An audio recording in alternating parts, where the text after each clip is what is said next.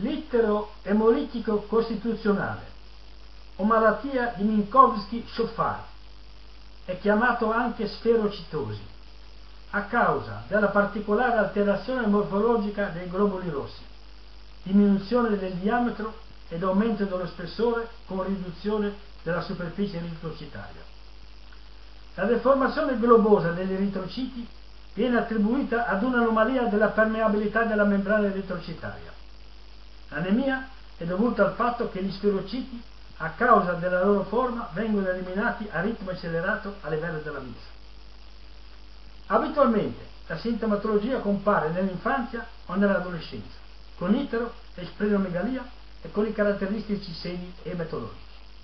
Nell'adulto sono frequenti le ulcere agli arti inferiori e la litisi biliare, di raro riscontro nell'età pediatrica. Un'altra caratteristica è la comparsa di crisi di aplasia midollare intervallate da lunghi periodi di benessere. L'intelligenza è normale la statura inferiore alla norma o bassa. Le alterazioni ossee dipendono dall'iperplasia midollare compensatoria, che determina espansione degli spazi midollari e atrofia della spongiosa e della corticale. Nella maggior parte dei casi si riscontrano alterazioni ossee, sia pure circoscritte, al cranio, le quali nel 25-30% dei casi sono di entità tale da simulare quelle talassemiche. La compromissione cranica pluricefalia è rappresentata da un ispessimento della diploe, normalmente con rispetto dei tavolati, raramente con immagini di cranio a spasto.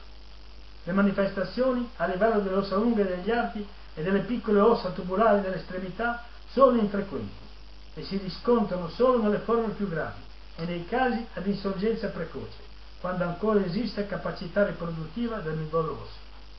La prognosi è più seria nelle forme precoci. Nella grande maggioranza dei casi l'evoluzione è favorevole. La malattia ha una frequenza di 1 a 5.000 e si trasmette con carattere autosomico dominante a penetranza incompleta, talvolta con carattere autosomico recessivo. Circa un quarto dei casi è sporadico. Quadro ematologico.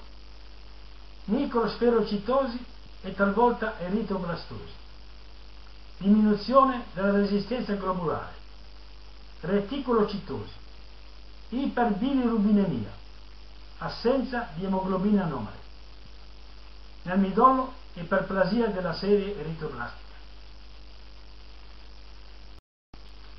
Sferocitosi. Bambino di 7 anni ispessimento diploico con notevole addensamento della volta cranica, turicefalia, solchi basali ben evidenti.